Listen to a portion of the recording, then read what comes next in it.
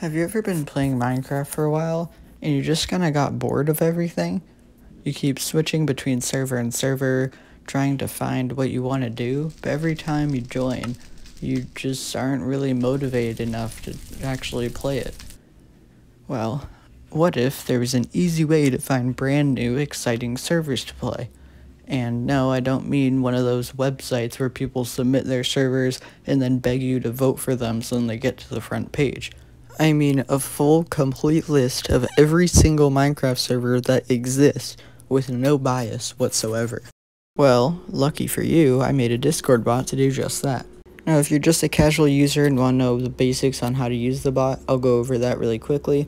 But if you're interested on how the bot actually works and obtains all those servers, then I'll explain that after. The video will be timestamped so you can just skip to that section if you want. The main two commands you'll probably ever use are slash random, which just pulls a completely random server out of the database, and slash search, which lets you use filters to get a list of all the servers that match the things you're looking for.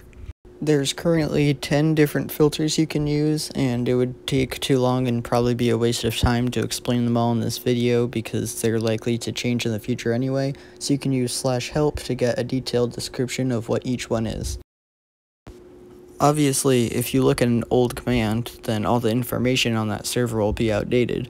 So, you can use slash ping to get the newest, most updated info on a server.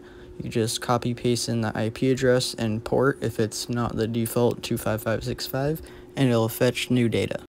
You can also check if the server is cracked or requires you to have a full premium account with the slash auth command. Again, just put in the IP and port if it's not the default one, and it'll use my API to check if it's a cracked server. And finally, there's the slash stats command, which will tell you how many servers are in the database, and then some stats about the bot itself, like how long it's been up and how many Discord servers it's in. But the bot stats are more for me, so you don't really have to pay attention to those. That's all you need to know to use the bot, so now if you're interested, I'll talk about how the bot actually works. You know how in the multiplayer menu, you can see some information about a server before you even join, like the description, the players online, etc. Well, what's happening there is that your computer is asking the Minecraft server for its info without even having to join. So my bot is able to act in place of that Minecraft game and ask any random server for info, and if it responds, then I know it's a Minecraft server. Then I can just repeat this process over and over again to every single possible IP address until I accumulate a massive list of every single Minecraft server.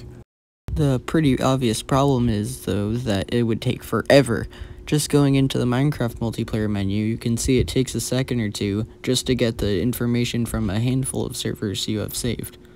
So how I do it is instead of just individually sending the request to each server one at a time, I do it to many servers at once. I send out the requests and wait for each of them to respond back one at a time, and then I do the same process for each of them, just uh, many at once in a big batch. The Discord bot and the script doing the scanning are actually hosted separately, so what happens is that there's a separate host that's constantly scanning all the servers and accumulating a big database, and then whenever you enter a command into the Discord bot, it'll fetch that information from the database.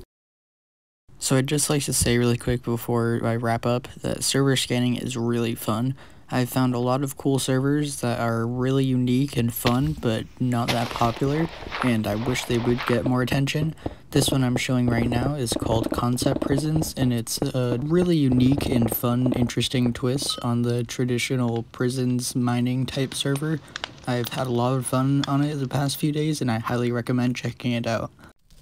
Another server that really stood out to me was mcfania.net and it's still under development and not too much is functional yet as far as the games go, but the maps absolutely blew me away. This is just a single developer working on this entire server, and the map making is just incredible, and I was completely blown away when I first saw it. So far, there's only two working game modes, so not too much to do yet, but it was still really cool to explore the server.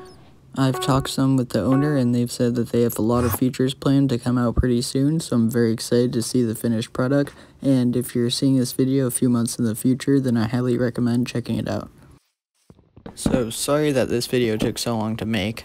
I've been working on this for a really long time, and I've actually already fully recorded this video multiple times, but the bot changed so much I had to redo it. You can even go to the bot's official Discord and go back to some really old messages, and you can see it used to be completely different. I hope you're able to have fun with this bot, and if you have any questions, you can leave it in the comments or join my or the official bot's Discord and ask them there. As always, thanks for watching, and don't forget to like and subscribe.